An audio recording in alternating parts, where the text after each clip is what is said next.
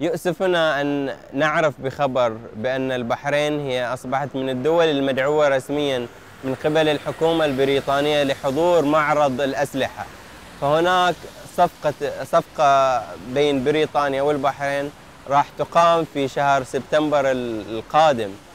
فلا أعلم ما هو المبرر لحكومة لطالما تدعي الديمقراطية واحترام حقوق الإنسان بأن تدعم نظام مجرم دموي مثل نظام آل خليفة آه الانتهاكات في الوقت الحالي قاعدة تبلغ ذروتها في الوقت اللي أمنستي منظمة العفو الدولية تقوم بحملة فقط لوقف لوقف الاعتداءات على هذا المجتمع المسالم اللي طالب بحقوق مشروعة. Could you justify David Cameron your ongoing political support dictatorship in Bahrain? The dictators in Bahrain has no legitimacy.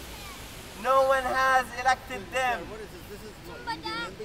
The people of Bahrain are believing in their power. The power should be the people of Bahrain, not to a dictatorship that no one has elected them. If someone wants to know about the political situation in Bahrain, I would like to give you one example about the Prime Minister who is in his who is in his power for the past 43 years. We have the same Prime Minister for the past 43 years. No one has elected him. In fact, he is responsible of severe violations which being committed under his government. In a country that human rights never been respected, in a country that there is ongoing crackdown on the peaceful protesters, in a country they arrest doctors only for treating injured protesters. There we will see the human rights defenders sentenced to life imprisonment. Only because they have spoke loudly about the crimes which have been committed by Al Khalifa dictatorship. And also because they have exposed the double standard policy by the Western governments including the United Kingdom, the United States and the way how they continue to support the dictators which continue to repress the Bahraini nation.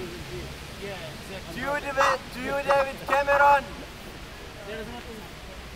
how could you justify your policy towards Bahrain? By a time you have been always promoting yourself as a champion for democracy, as a protector for human rights, all of this within sudden just been the opposite. And you have been in favor to that dictatorship. Here we are echoing the message of the Bahraini people and we are saying to the British administration Stop supporting dictators! Stop supporting dictators!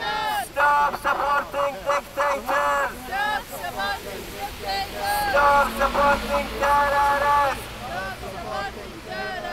Stop supporting terrorists! Stop supporting terrorists! Al Khalifa terrorists! Al Khalifa terrorists! Al Saud